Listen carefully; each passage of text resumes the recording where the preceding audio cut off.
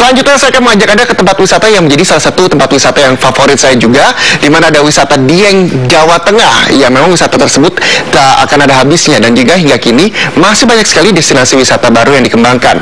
Salah satunya adalah Telaga Merdada. Di tempat ini wisatawan selain disuguhi keindahan alamnya yang masih asli, selain itu pengunjung juga bisa berinteraksi dengan satwa liar sekaligus mengelilingi telaga dengan menggunakan perahu. Seperti apa kira-kira? Kita lihat berikut.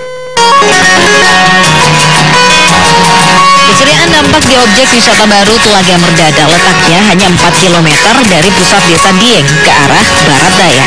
Bisa ditempuh dalam waktu 15 menit saja. Tepatnya berada di Desa Karangtengah, Kecamatan Bantur, Kabupaten Banjarnegara, Jawa Tengah.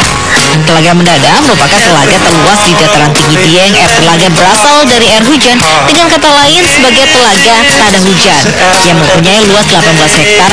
Di sini wisatawan selain menikmati pemandangan alam yang masih asli bisa menguji adrenalin dengan berperahu kayak mengelilingi danau. Wisatawan tak perlu khawatir karena sebelum berperahu diberikan perlengkapan keselamatan seperti helm dan pelampung dada serta diberikan petunjuk keselamatan berperahu oleh instruktur yang berpengalaman. seru.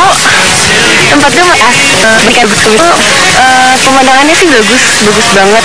Kalau misalnya mau mencari yang seru nyaman bisa ke sini Diharapkan dengan dibukanya destinasi wisata baru di dataran tinggi Dieng ini akan bisa menambah pendapatan asli daerah bagi Pemda dan mensejahterakan masyarakat setempat. Dari Dieng, Jawa Tengah, Bambang Hengki memberitakan.